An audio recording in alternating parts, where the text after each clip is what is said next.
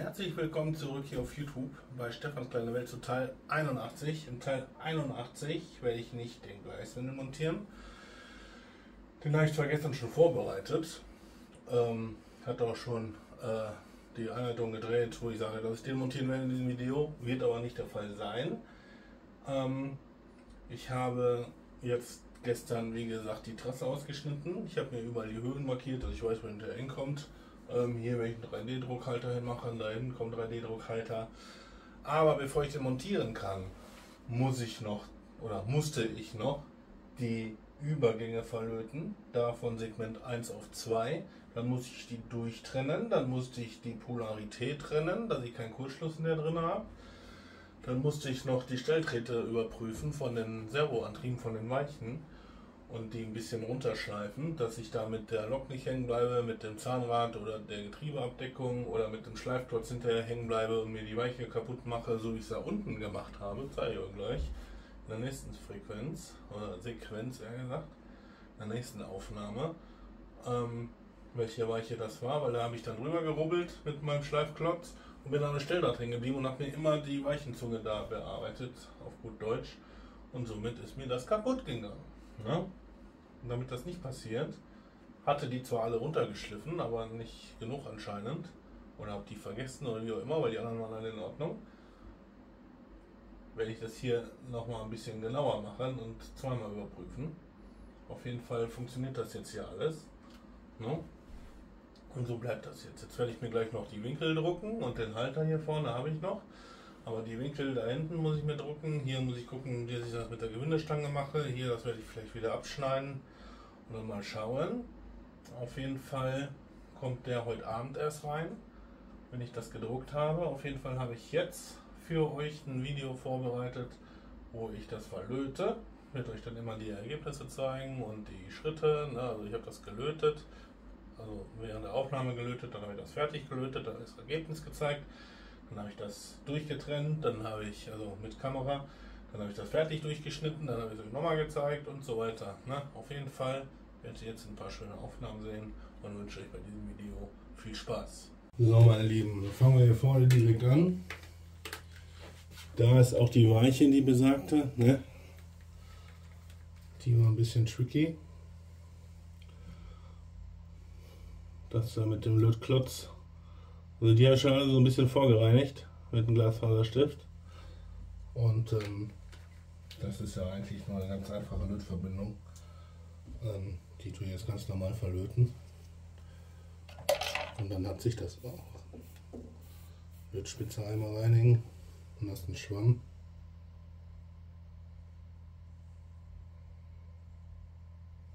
So ist das von ERSA empfohlen. Und hier einfach nur einmal so hier drüber. Schön heißen Lötkolben. Zack.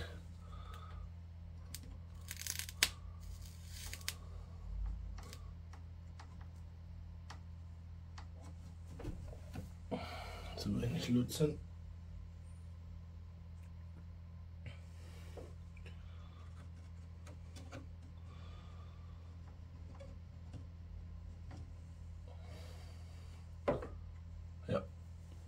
So, das war Nummer 1. Einfach mehr Licht holen. Dann drehen wir ein bisschen und dann geht es gleich dann mit den anderen Schienen weiter. So, einmal die Perspektive geändert, ein bisschen Licht. Gehe ich hier halt dementsprechend entlang. Ne? Ich den hier direkt mal.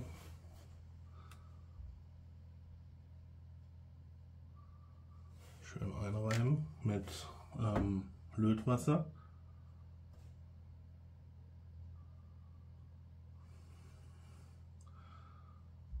Das ist der einzige auf dieser Seite von den fünf Gleisen.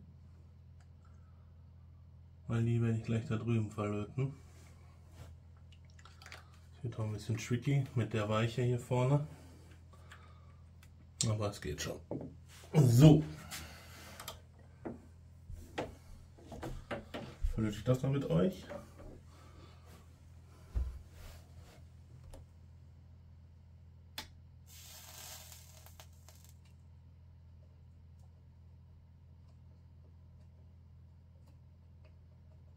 Zack.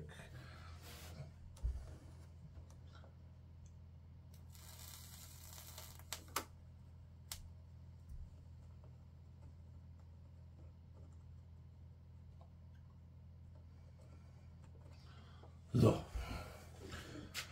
Schön aufpassen mit die Kabel, die da drunter herlaufen, ne? also nicht so heiß werden lassen. Jetzt nehme ich mir den, den ähm, Schienenklotz, rübel mir das so schön sauber. Also die ganzen Ablagerungen und so wieder vom Gleis runter. Schon einen schönen glatten Übergang. Jetzt verlöte ich mit euch noch einmal hier vorne das Glasstück. Und dann geht auch schon in der Zeitrafferaufnahme los.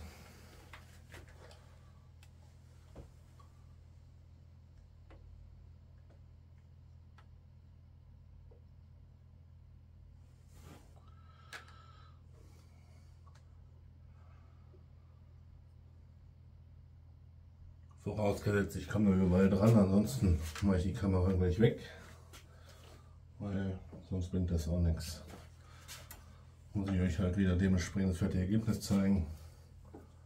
Aber ich bin gute Dinge, dass ich euch so ein bisschen wenigstens in der Zeitraufnahme mitnehmen kann. Zeitraufnahmen sind ja meistens sowieso nur um die 30 Sekunden bei mir.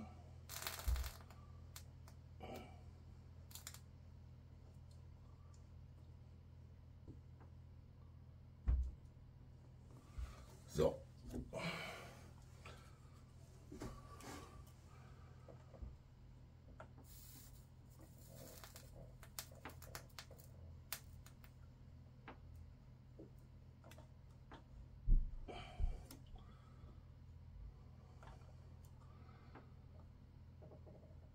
Auftrag muss ich den natürlich auch noch. Ja, das könnte ich dann auch noch machen.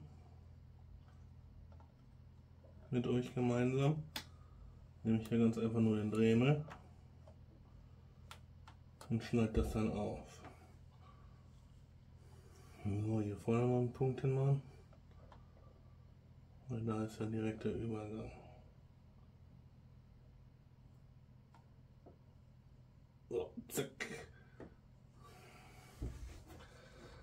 Andere Seite.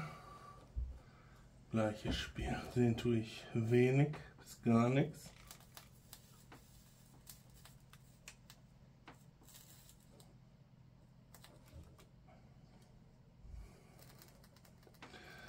Deswegen werde ich gleich die Kamera wegnehmen und werde das dann eben ohne euch verlöten und schalte wieder ein, wie die Schienen durchschneide. Dann gibt es keine Zeit drauf für Aufnahme. Hat keinen Zweck. So, schön sauber verlöten. Ich ein bisschen Pause zwischen machen, dass es dann abkühlen kann wieder. Na. So.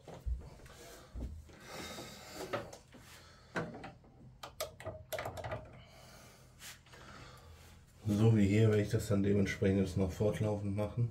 Ne? Hier habe ich ja schon. Hier muss ich wie gesagt noch verlöten. Die Weiche mit den Schienenprofilen, die sind nicht verlöten. Und dann ist die Seite fertig. Und werde ich hier noch mit den Dremel, wie gesagt, die Pinne so ein bisschen runterschneiden. Dann nehme ich einfach die Trennscheibe, das zeige ich euch dann auch gleich. Und dann wird das schon schön.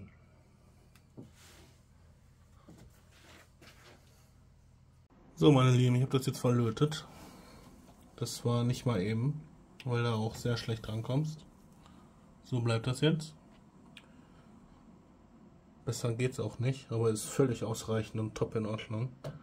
Die Weichen habe ich jetzt schon angefangen, die Stelldritte wegzuschleifen in der Mitte, sieht man ja. Ne?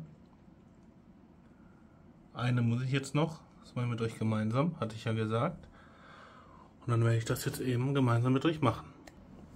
So, dafür nehme ich jetzt den, den Elektrodremel von Parkside. Halt die Zunge ähm, auf einer Seite.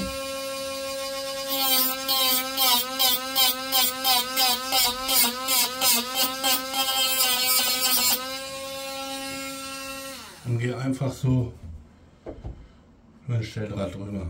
Das ist ja nur 0,8er, geht relativ gut. Passiert auch nichts. Top. So kann das jetzt bleiben.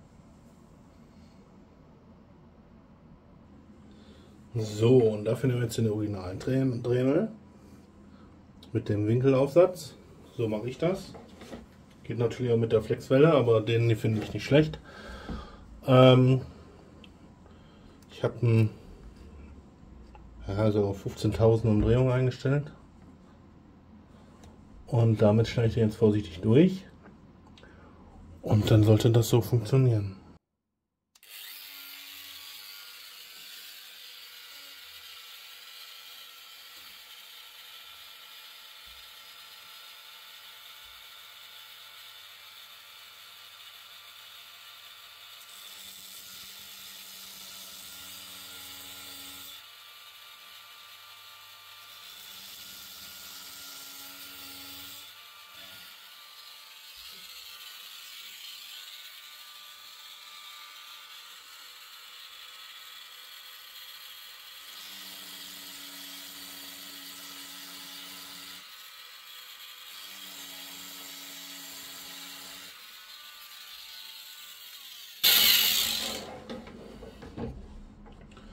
So. Jetzt habe ich den einfach mit dem Drehmer hier durchgeschnitten. Das ist der Trennschnitt für die ähm, elektrische Trennung. Na, das reicht so. Das ist völlig in Ordnung. Und jetzt mache ich das eben fertig. Und dann zeige ich euch nochmal das fertige Ergebnis. Auf jeden Fall habe ich die jetzt dann durchgetrennt hier. Ne? Die Kupferleiterplatten. Da ein bisschen Silikon, äh, Silikon, sage ich schon, Sekundenkleber reinlaufen lassen damit der Schnitt noch stabilisiert ist, dass ich mit dem Dremel zu tief gekommen bin, damit das da ein bisschen ähm, mehr Steifigkeit erhält. Und jetzt habe ich mir das Multimeter angemacht. Und jetzt werde ich das noch eben auf Durchfluss prüfen, ob ich einen Kurzschluss drin habe. Hier ist offen, ne? Hier piept er. Offen, offen, offen, offen. Verbunden. Offen, offen.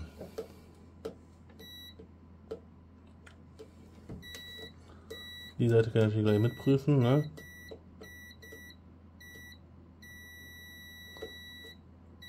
Und die da.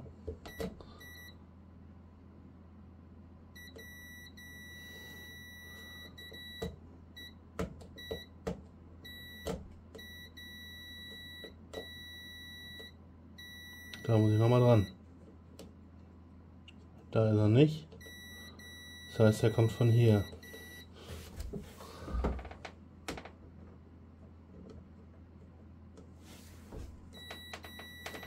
Mal woher?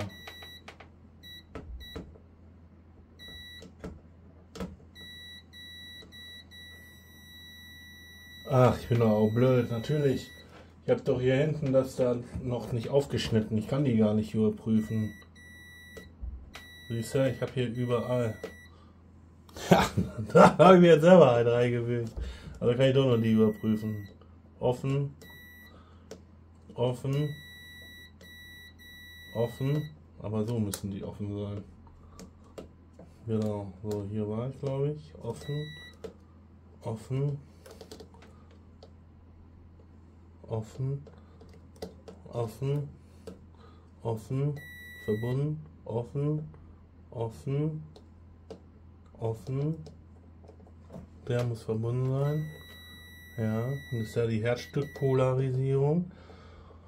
Offen, offen, offen.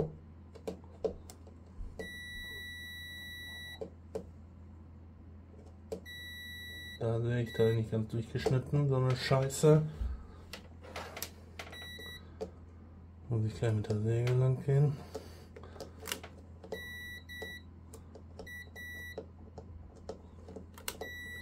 Deswegen ist das furchtbar wichtig, dass ihr das da hm, kontrolliert.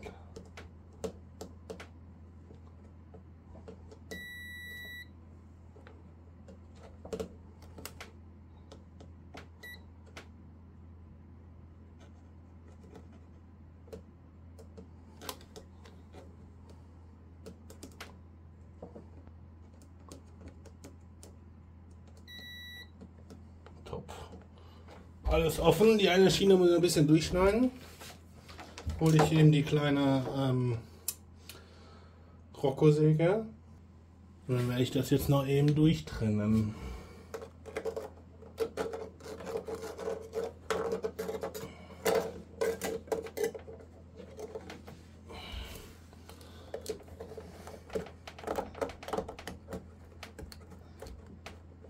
Das war's schon.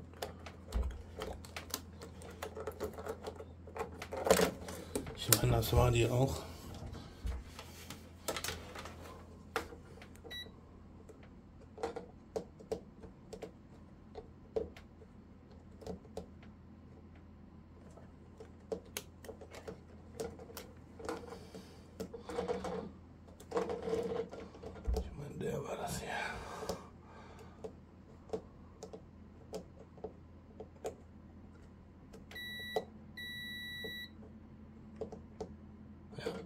Alles gut. So, das war's. Jetzt habe ich das überprüft. Und jetzt kann der Wendel dann dementsprechend drauf. Ist ja alles vorbereitet. Und dann wird da in Zukunft auch nichts mehr schief gehen. Diesbezüglich zumindest. So, meine Lieben, das ist jetzt erstmal fertig. Ja, jetzt habt ihr gesehen, was ich jetzt gemacht habe den ganzen Nachmittag. Da ist mir schon wieder drauf, weil ich geguckt habe, wie viele Halter ich brauche. Ich gucke sogar pauschal vier Stück plus den Ofen.